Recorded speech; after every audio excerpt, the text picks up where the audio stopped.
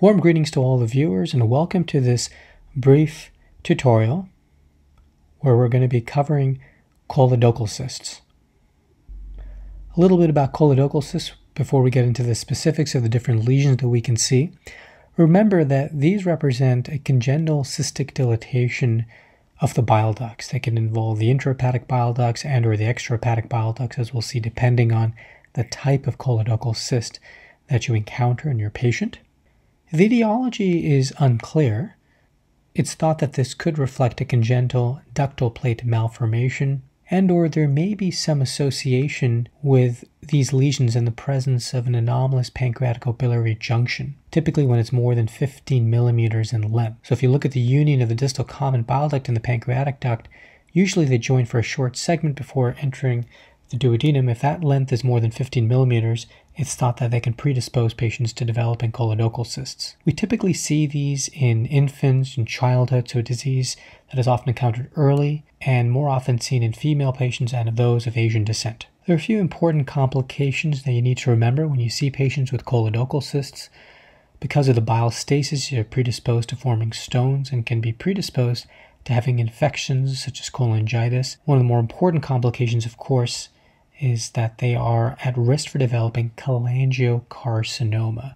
So it is for this reason that they should be evaluated and potentially treated. And the treatment options will vary depending on the type of choledochal cyst that is present, but generally will require some sort of surgical resection. And if they're too numerous to perform a simple surgical resection, transplant uh, may be necessary. So we generally qualify uh, classify choledochal cysts according to Todani classification, in which there are five major types. The first type, or type 1, involves the extrahepatic biliary tree, and there are certain subtypes that you can encounter within type 1, which we'll go through. Type 1a involves cystic dilatation of the entire extrahepatic biliary tree, as can be seen over here in this drawing schematic. Type 1b, on the other hand, is a more focal cystic dilatation seen involving the extrahepatic biliary tree. So it's not as extensive as can be seen in type 1a. And finally, type 1c is when you have a more fusiform shape uh, associated with the extrahepatic biliary ductal dilatation. So it more you know, has sort of a fusiform or spindle shape as opposed to a very cystic uh, shape that can be seen with type 1a and type 1b. Now, while all these uh, cysts are very, very uncommon, of these, type 1 in general is the most common of these lesions that you'll encounter.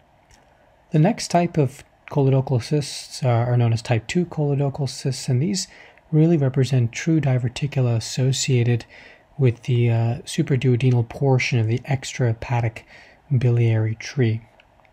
Very rare, we really, really don't see a lot of case of this, uh, you know, several case reports at best but uh, when present, they'll look like a little outpouching associated with the extrahepatic biliary tree, as can be seen in this diagram.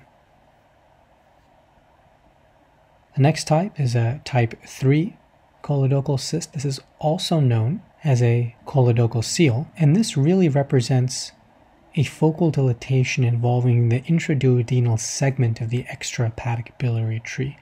So if you follow the distalmost portion of the common bile duct, as it sort of enters the duodenum, right over there, you'll see a focal cystic dilatation, um, and that's going to be known as a type 3 choledochal cyst. Move on to type 4 choledochal cysts, of which, again, there are two subcategories that you need to know about. In both, you'll see multiple cysts. Type 4a, you're going to see multiple cysts that involve the intra and extrahepatic bile ducts, as can be seen in this drawing over here. While in type 4b, you're going to see multiple cysts, but these cysts will just involve the extrahepatic biliary tree with no intrahepatic ductal dilatation.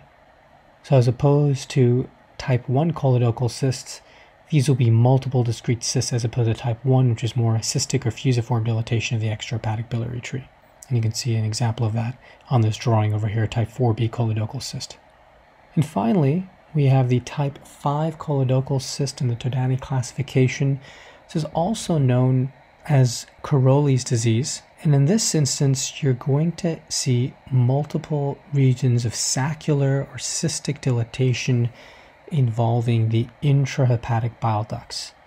It can be diffusely involving the ducts, involving a certain segment or a certain hepatic lobe.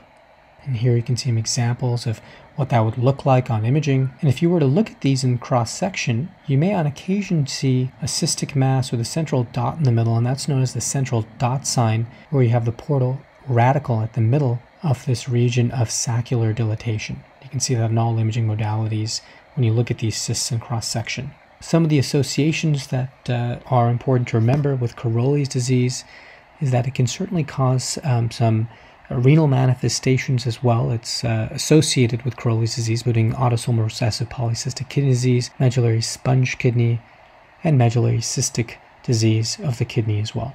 Sometimes it can be associated with liver fibrosis and portal hypertension, in which case it's known as Caroli syndrome. Thank you so much for your attention.